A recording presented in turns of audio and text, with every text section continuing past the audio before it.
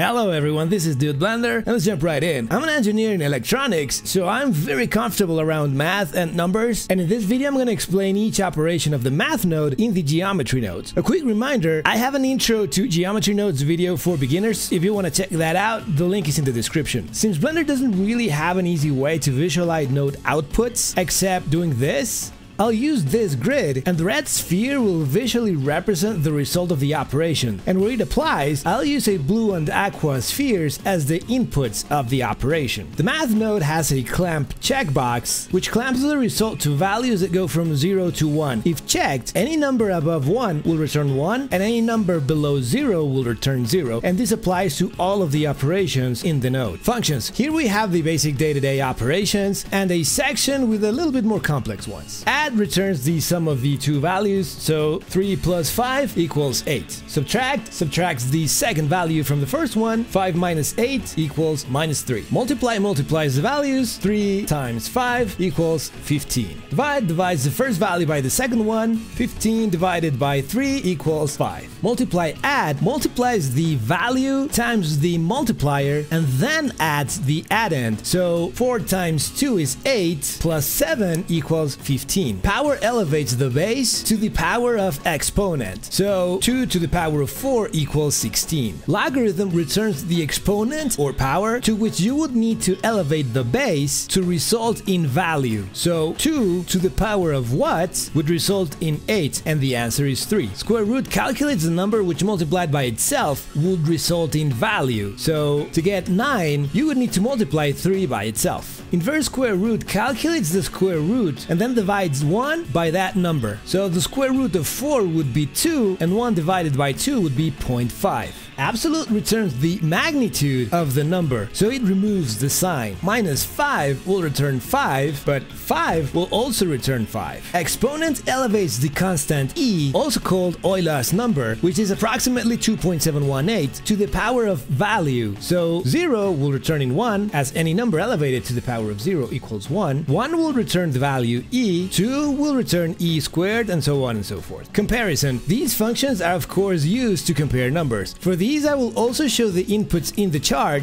so that it's easier to see. Minimum returns the smaller of the two values. Maximum returns the larger of the two values. Less than is a boolean operation. These operations can only tell you if something is true, represented by a 1, or false, represented by a 0. Is the value less than the threshold? In this case, it's not, so it returns a 0. When the value becomes smaller, then it will return a 1, or true. Greater than is the opposite and will return 1 when the value is greater than the threshold. Sign returns minus 1 if the number is negative and returns plus 1 if the number is positive. Compare is a boolean and it returns true if the two values are within epsilon units of each other. So if I fix epsilon in 3 and one of the values in minus 6, then the operation will return true whenever the second value is between minus 3 and minus 9. If I go outside that range in any direction, it will return false. Smooth minimum I never saw before Blender, but it returns a smooth approximation to the smallest value with the distance being the smoothing range. Let's set one value at 0. If the other value is equal or larger than the distance, then the output is exactly 0. As soon as I get within the distance value, the output is now some number but not 0. And that smoothing effect will continue until the smaller number is at least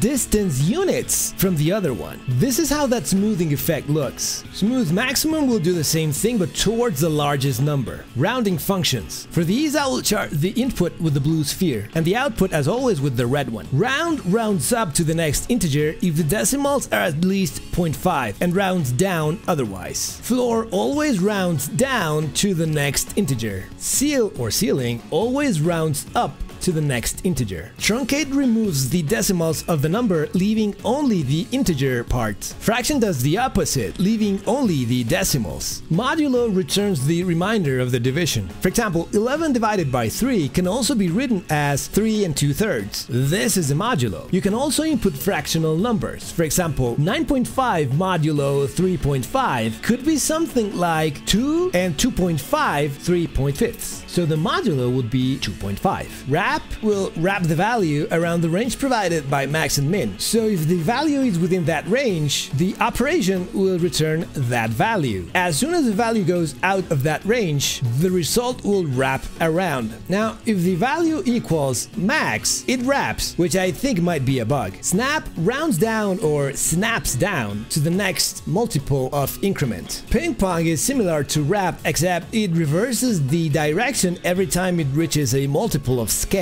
so it goes back and forth. On to the trigonometric functions. For these, I will chart the input value in x and the result of the operation in z. Sine returns the sine of the value. It's important to mention that the value should be given in radians, not in degrees, where 360 degrees equals 2 pi radians. Also note that you can directly type pi or tau and Blender will recognize them, where tau is 2 pi. Cosine returns the cosine of the value. Tangent returns the tangent of the value. Note that the tangent is equal to the sine divided by the cosine of the value, so when the cosine of that value would be zero, the result will be infinity. The inverse functions do the opposite. They return the angle in radians for a given value within a range. So an easy way to understand this is if I connect an inverse function to the regular function. As long as the input is within a valid range, in this case is minus 1 to plus 1, then the input will be the exact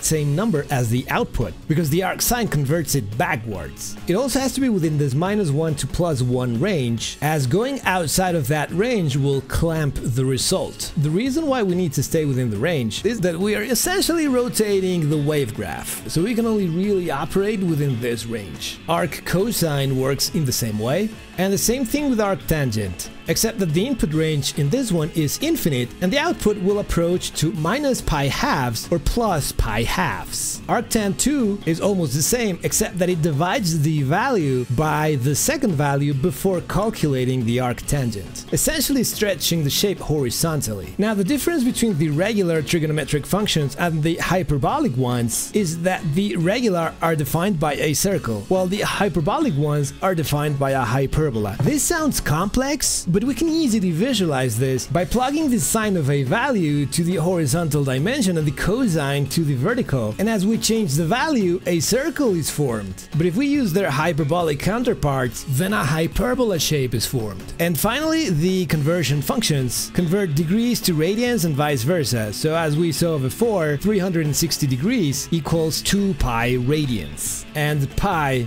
fourths equals 45 degrees. Well, that was easy. Math isn't difficult, it's just not always properly explained. That's it for today. Drop a like, comment, and subscribe if you liked the video, and let's connect on TikTok and Instagram with the handle at dude underscore blender. I'm Dude Blender. Happy blending. And check out this video too. Everything in this channel is top notch, guaranteed.